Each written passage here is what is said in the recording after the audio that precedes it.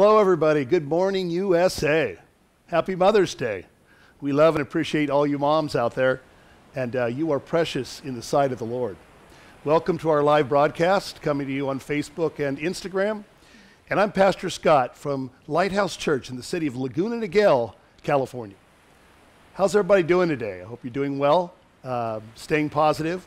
I believe things are getting better every day. The Bible says in Proverbs 15:30, "A good report makes the bones healthy, makes one strong and healthy." Or good and positive words make us and keep us healthy. I thought I'd start with a little levity. Um, this you, Joe. Why did the scarecrow become so famous? Because he was outstanding in his field. Think about it. All right. The Word of God is positive and beneficial and effective in our lives. It's a medicine and also a spiritual food that feeds your very spiritual nature. Receive His Word today and be changed thereby. I want to talk to you today about giving and receiving a good report and how important that is as believers in Christ. But first, my second daughter, Christy, has a few words to share with you. She is the voice of Light Words, our podcast ministry. So when you listen to our podcast, LN Lighthouse, you'll hear Christy's voice. And she does a fantastic job, and we give thanks for that. Christy? All right, thanks, Dad. Um, we've actually had a lot of more, a, lo- a lot of increase in the traffic in our podcast, which is so so awesome. Praise God. So praise the Lord for that. Um, if you're not a subscriber, we encourage you to subscribe to our podcast, Light Words, and you can do that on iTunes, iTunes by searching Scott Huffman. Um, faith comes by hearing, and hearing by the Word of God.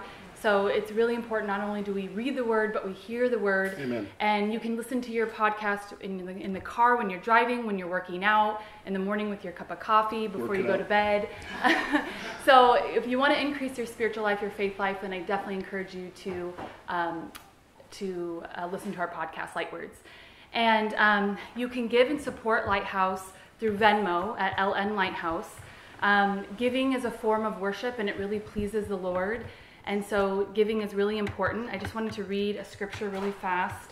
It's in Proverbs. It's um, verse three or chapter three, verse nine and ten, and it says, "Honor the Lord with your possessions and with the first fruits of all your increase, so your barns will be filled with plenty and your vats will overflow with new wine." And the Lord promises to give back. So I just encourage you to stretch your giving. And if you're not giving, start giving because the Lord promises to give back. And I really feel like that's going to open up the windows of blessing in your life. It's the only place in the scripture where God says, Test him and see if he will not open the windows of heaven and pour out a blessing you can't even contain. So, uh, giving is an important part of our walk in Christ. Praise God. Amen. So again, you can uh, you can give through Venmo at LN Lighthouse. Um, I also just want to encourage you to like us on our social media. Um, so that's our Facebook, our Instagram, our Twitter.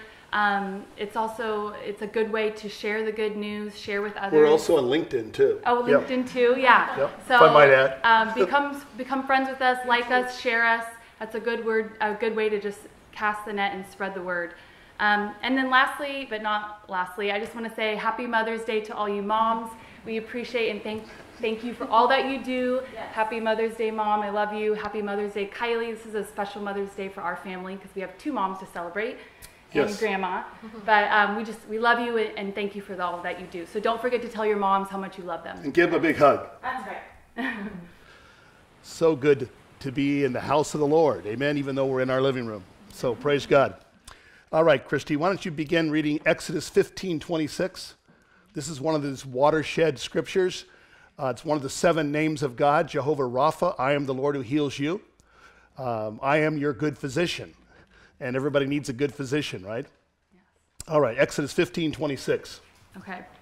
And he said, If you diligently heed the voice of the Lord your God and do what is right in his sight, give ear to his commandments, and keep all his statutes, I will put none of these diseases on you which I brought on the Egyptians, for I am the Lord who heals you. It's interesting with that. that We're going to pray here in a minute. But uh, I will put none of these diseases on you. So, Jehovah Rapha, he's our healer, but he also is the one that keeps us well. And it's called divine health in the Bible. I wish above all things that you may prosper and be in health, even as your soul prospers. Third John. So, uh, God is protecting us from disease and keeping disease off us. Amen. Let's pray. Lord, we thank you, praise you for the word. We pray for every person listening to our broadcast and who will eventually listen to it during the week. Lord, touch them mightily. Let the healing anointing come upon them. Let the protective power of the Lord Jesus be upon them. And let hope arise and faith.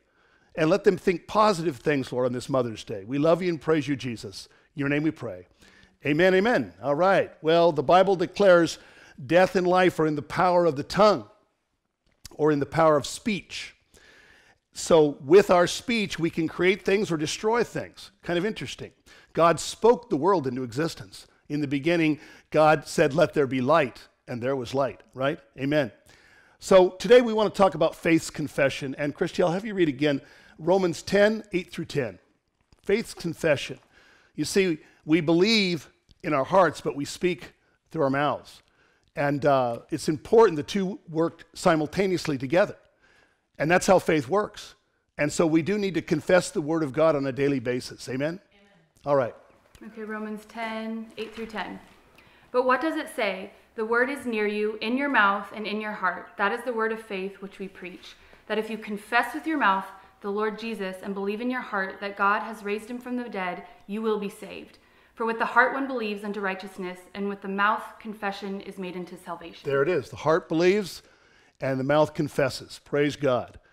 Now, when I was young, I suffered from an inferiority complex, and I had poor self esteem as a child and into adulthood. I grew up with an overbearing father who was very critical and verbally abusive, condescending with his words. And I don't hold that against my dad. He's in heaven. God bless you, Dad. But uh, some things happen in life we don't understand why. And some of us grow up with uh, a damaged self esteem. And it caused me not to feel good about myself. I played basketball in high school. I was average, okay, I guess. But at the time, I had a confidence problem. And it didn't help that the coach was much like my dad, very critical and demeaning. But then later in life, I got a word from the Lord from a man of God. And he didn't know who I was, but he came right from the Lord. He said, You've had several traumas, Scott, in your life, and it's caused you to not feel good about yourself. And it's damaged your self esteem. He said, God's going to change that, praise God, and give you a good feeling about yourself and bring confidence into your life in using your abilities for the Lord and to, to bring about a positive outcome in your life. And so God has done that for me. And I feel good about myself today. Uh, not perfect, but I feel pretty good about myself. And God has healed me. Sometimes God heals our physical body, sometimes He heals our spiritual body or emotional body. And He is the healer in all ways body, soul, and spirit. Praise God. You know, when you believe in someone, they'll believe in themselves. And as we believe in each other, we believe more in ourselves. And Jesus said, We're to love one another as we love ourselves, or love your neighbor as you love yourself. And so it's important that we have a good self esteem in life. Amen? Well, Jesus spoke gracious words in his ministry over the people, and it astounded them. They'd never heard anybody like this, the kind of gracious words that were coming out of his mouth. And it was very attractive. See, he had great favor with people. Believers should have favor with other people. We should be attractive, amen, to other people because of the grace of God upon us. And Jesus still speaks gracious words over us today. Marilyn, could you read Luke 4:22? Gracious words. Wow, the power of speech. People like Grace Kelly and uh, Kennedy, what was her name? Jackie Kennedy, thank you. Uh, they were very gracious women, and they had a great appeal about them. Uh, I believe uh, President Trump's wife, Melania, has graciousness about her. And uh, that's a wonderful trait. It's a God given trait. And we should pray, Lord, that there'd be more grace, so we'd have grace upon grace. Amen? Okay, Marilyn. Okay, Luke 4.22. So all who bore witness to him and marveled at the gracious words which proceeded out of his mouth. And they said, Is this not Joseph's son? Mm-hmm. Amen. Is this not Joseph's son? The carpenter? son of a carpenter? Yeah. Who became a mighty prophet, mighty in word and mighty in deed. We love you, Lord Jesus. Gracious words have a divine influence upon a person's heart, a divine influence. That's why they're so important. Let's look at Colossians 4 6, Christy. Sometimes, you know, we say things we don't mean or we really should not have said, and it damages hurts people. And I've been guilty of that. I'm sure all of us have been guilty of that. And we need to really ask the Lord to put a guard over our mouths and our speech and be careful that we do not speak demeaning words or critical words, but we want to speak words that are going to lift people up, strengthen them, and build them up in the faith. Yeah, this is a good verse. Okay, Colossians 4 6. Let your speech always be with grace, seasoned with salt, that you may know how you ought to answer each one. Amen. Season with salt. As we've been talking about cooking, I've been doing my cooking thing in this uh, quarantine time, and uh, it's amazing how salt influences the flavor of food, enhances it. And uh, we, with our speech, is seasons with salt. We can enhance people and, and edify people and lift them up. Edification literally means to build up. It's the goal of the believer to lift people up to a higher place in life and in the kingdom of God. Marilyn, could you read Ephesians 4 29 through 32? Again, referring, the Apostle Paul referring to our speech. And a lot of people say, you know, sticks and stones will break my bones, but words will never hurt me. That is totally a lie. Words can do a lot more damage than sticks and stones sometimes. And so uh, words are powerful. They create and they destroy, right? We, we talked about death and life are in the power of the tongue. Okay. Okay, Ephesians 4:22. Let no corrupt word proceed out of your mouth, but what is good for necessary edification, that it might impart grace to the hearers. And do not grieve the Holy Spirit of God, by whom you were sealed for the day of redemption. Let all bitterness, wrath, anger, clamor, and evil speaking be put away from you with all malice, and be kind to one another, tender-hearted, forgiving one another, even as God is for, as Christ forgave you. And I like that being tender-hearted, forgiving one another, as God has forgiven us in Christ. And that should be the attitude of a Christian. A Christian should be a forgive, forgiving person and uh, not hold a grudge. And so many people, you know, I'll, I'll just get even, you know. That's not the message of Christianity. And uh, Jesus said, turn the other cheek, right? And he said, Father, forgive them, for they know not what they do. And so we ought to have that kind of attitude in our hearts. You know, the tongue can set the fires of hell ablaze. And that's what's so dangerous about speech if it's used in the wrong way. But if it's used in the right way, it'll lift people up, it'll strengthen them, it'll bless them. Years ago, I got another word from the Lord that, I, that stated I had been given a gift from the Lord that I would be able to build people in the body of Christ. And I believe this is a spiritual gift that God has given me. I speak, uh, I preach prophetically many times, and the word goes directly to a person's heart, and it's coming from the voice of the Lord. And so as I preach the word, you're going to grow, grow in Christ. You're going to get stronger in God. Hallelujah. Don't you want to be? I do. Uh, that we might grow mighty in the Spirit. Praise God. Now, we're talking about the power of healing words. A recent study has shown that encouraging words from a healthcare provider can help patients recover. We've got a healthcare provider right here. Christy's an RN. Praise God. Pray for her. Hallelujah. But a healthcare provider can help patients recover and recuperate faster from their ailments and also keep them well. Power of speech. Now, I've had some good experiences with healthcare providers and doctors, and I've had some bad experiences. And I always find that their words and demeanor make me feel better or worse. Doctors, think about it, right? Uh, you can heal through your hands, but you can also heal through your speech. Praise God. Uh, perhaps you've had some of those experiences as well. You know, when you, when you go to the doctor, you feel very vulnerable. And, uh, you know, when they, they give you a bad report, you just go, thank you. Hey, I love that. Yeah. no, you, you freak out, right? Your blood pressure spikes, and, you know, they're trying to, you know, and all this. And, uh, uh, but, I, but I have a certain doctor that I go to. He's a dermatologist, and he is a great man. And he's actually Jewish, praise God. And uh, he has that kind of quality. All of our family goes to him, and he just has this wonderful demeanor about him. He's very calm uh, and, and he doesn't, he's not an alarmist. And, you know, I had a pretty serious thing right here. I had a, a melanoma, which ugh, I don't even like to say the word, but it came out of nowhere. It was a mole, and uh, he removed it. Praise God. Now I've got a scar across here. I'm a tough guy. but uh, he said you had the best case scenario for that because it could have been a lot more serious, but I was at the best spot to have it removed, and praise God, it's gone. Amen. Hallelujah. So, healthcare providers do provide service with their speech and also with their hands.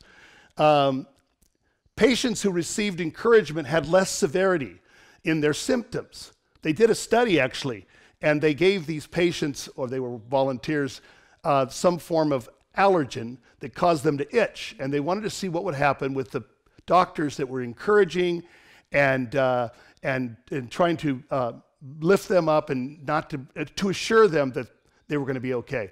And the patients that had those kind of doctors uh, had less itch and recovered more quickly. And the ones that didn't have the encouragement and the assurance suffered longer and more greatly. So, p- power of speech. Let's look at Proverbs 16 24, Christy. Dad, a lot of people are saying Happy Mother's Day. Oh, good. All right. Well, I'm not a mother, but but mom's a mother. They're talking to each other. I know. Good. Talk. Just keep talking. And if you get a chance, listen to me too as well. Okay, this is another good one. Proverbs 16 24. Pleasant words are like honeycomb, sweetness to the soul, and health to the bones. Health to the bones.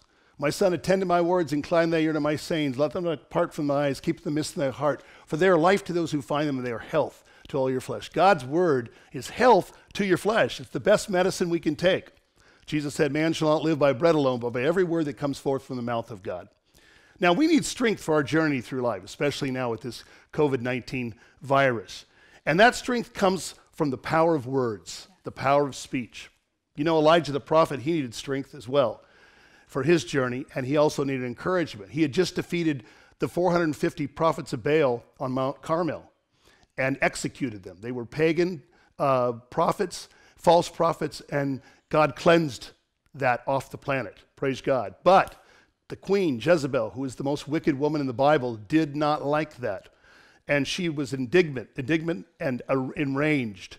And she said, I'm going after that guy, and I'm going to kill him. And uh, here was the queen of, of, of the northern uh, Israel uh, set against this mighty prophet of God. Elijah is probably one of the greatest prophets in the Bible. And what did Elijah do? He took off running. Woo! He was so fast, he passed a chariot going. I mean, he ran in the spirit, baby. I mean, he was doing the Forrest Gump. Uh, and that's the power of God. I had that happen to me once. I ran in the spirit. You say, now you're, now you're crazy, Pastor. But I was camping once and we were backpacking, and I was with some friends, college days, and I said, you know what, guys, I feel like running. I'm going to run. And I had just flip flops on, you know, tank top and a suit, I think, bathing suit. I took off running down the trail, and it was uphill. And I felt this supernatural power on me, and I kept running and running and running. And finally, I just like Trump, I mean, not Trump, Susie, Forrest Gump. They do rhyme. Okay, I just wanted you to know that. Uh, so I said, I think I'll stop running. I think Forrest Gump did that too, man, just stopped running. And I sat up on a big boulder. My friends came up a while later and like, Where did you go? I go, I don't know. I think I just ran in the spirit. so Elijah was running in the spirit, but he was running because he was afraid. And he needed encouragement because he knew this woman meant business. And um, so we want to look at this story in 1 Kings 19, 4 through 8, Marilyn. Very interesting story. You know, sometimes we get discouraged in life, even as Christians. We get downtrodden, and uh, we think, hey, it's over. Life's, you know, just not treating me well. And we can all feel that way. And in, during this epidemic, I think a lot of us have experienced those mixed emotions, mixed bag of emotions and feelings of, of what's going on in our lives. You know, is this going to go on forever? And, and you know, what, what's the future look like? And, you know, we got to keep our minds renewed to the Word of God and keep our minds focused on the promises of God. Because all the promises of God are yes and amen. Praise God. Okay, Mary. All right. Uh, 19.4. Um, but he, but he himself went a day's journey into the wilderness and came and sat down under a broom tree. And he Broom prayed, tree, I like that. A that. broom tree. Oh, I think I'll have a broom tree. And he prayed that he might die, and said, It is enough. Now, Lord, take my life, for I am no better than my father's. Then, as he lay and slept under a broom tree, suddenly There an is again. angel touched him and said to him, Arise and eat. Then he looked, and there by his head was a cake baked on coals and a jar of water. So he ate and drank and lay down again.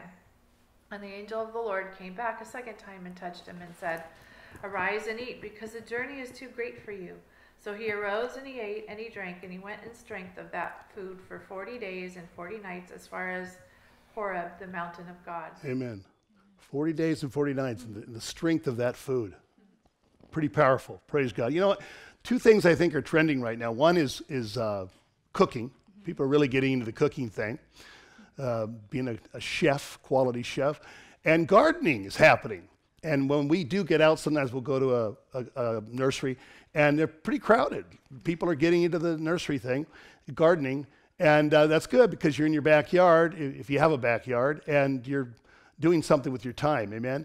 Uh, and so it makes you feel good to, to uh, build a garden. Praise God. We've just bought some heirloom tomato plants, and we're hoping we're going to have a big crop of tomatoes coming in. Love tomatoes, even though Dr. Gundry says not to eat tomatoes. But uh, I still like them. Forgive me, doctor. uh, but it's interesting. Elijah's freaking out. He's running out into the wilderness to die. I mean, he's really depressed. Now, this is, this is the mighty man of God who's in a state of depression. Sometimes we find ourselves in that place in life. And he says, I just want to die. This woman's after me, and I know what she's relentless. She's indignant. She's go- coming after me. Okay? And so he thought, I'll just die out here, God. But the Lord had a different plan for Elijah. And an angel shows up. Angels strengthen us, guys. They're here to minister to heirs of salvation, which are believers in Jesus Christ. When Jesus was in the wilderness and he defeated the devil and the temptations of the devil, he defeated him with the word of God. And the Bible says the devil left him for a while, that he was going to come back again. But when he left him, the angels of God ministered to the Lord Jesus. I've often wondered, what what, what did they do to him? What, how did that happen? I do not know. All I know is it strengthened him. And sometimes angels come and strengthen us. Sometimes we entertain angels unaware. So Elijah has an angel appear to him and feeds him right there a meal. And then he's so tired he goes back to sleep again. But the angel said, Arise and eat. There's power in that word, arise and eat. He goes to sleep, he wakes up again and again, arise and eat. And and with that strength, that supernatural strength that came from that food, which was energized by the power of God, he went out 40 days, 40 nights farther out into the wilderness. And when he finally got to this one spot, God began to speak to him in a still small voice, and he heard from the Lord. Praise God. And that encouraged Elijah. I want to conclude with one of my favorite stories in the Bible, and yet it, it didn't have a great outcome for the people who failed to believe if you don't believe, you won't receive. Amen? And if you doubt, you'll go without. But there were a, a few, a couple people were exceptions. They were believers and they were strong in their faith and gave glory to God and being fully convinced that what God had promised he was able to perform. So, in this story that we're going to look at, we're going to close, it's a contrast between a good report, or I call it a faith report, and a bad report, or an unbelief report or a report of doubt. The children of Israel had come to Kadesh Barnea. Now they had left Israel, excuse me, they had left Egypt. They had been slaves for 400 years. And under the mighty hand of God, he led them out through signs and wonders. As the servant of the Lord, Moses led them out into the wilderness to go and worship God. And out there they received the law of God, the Decalogue, the Ten Commandments, which are still true today as ever before. And then they came to Kadesh Barnea about two years later. And this was the point where it would either happen or not. They were right on the border of the land of Canaan, the land that God had promised that flowed with milk and honey. And at this point, the Lord spoke to Moses and he said, Send out 12 spies from each tribe. Go into the land and see if this is not indeed blessed land, a land flowing with milk and honey, a prosperous land. And so the spies' stealth assignment went into the land. And Christy, we want to look at this in Numbers 13, 23, and 24. Very interesting. God had promised them this land. And he said, Now go in, spy it out, it's going to be yours. God is not a man that he should lie, and the Son of Man that he should repent. Has he said it? Will he not do it? Has he spoken it? Will he not bring it to pass? If God speaks a word, he's going to do it in your life. He's going to be faithful. God is faithful. Everybody say that. God is faithful. Amen. And God is good. Praise God. Want, uh, Numbers 13. 13, 23, 24, please. 23, 24. Thank you. Right. Okay. Then they came to the valley of Eshcol, and there cut down a branch with one cluster of grapes. They carried it between two of them on a pole. They also brought some of the pomegranates and figs. The place was called the valley of Eshcol because of the cluster which the men of Israel cut down there. Amen. Praise God. So they came to this Eshcol, and there they see the pomegranates, the figs, the grapes, It was truly a land flowing with milk and honey. It was a very prosperous land. Now let's read verse 27. Then they told him and said, We went to the land where you sent us. It truly flows with milk and honey, and this is its fruit. Yes. Okay, verse 28. sorry.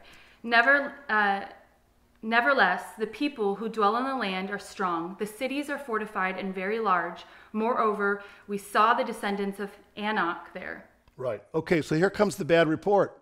They saw the land was blessed, it was prosperous, flowing with milk and honey, and everything God had promised about them. By the way, we've been to Israel, and it's a blessed and beautiful land today. And there's, they've planted like a million trees. It's beautiful. Um, and they're blessed people, praise God.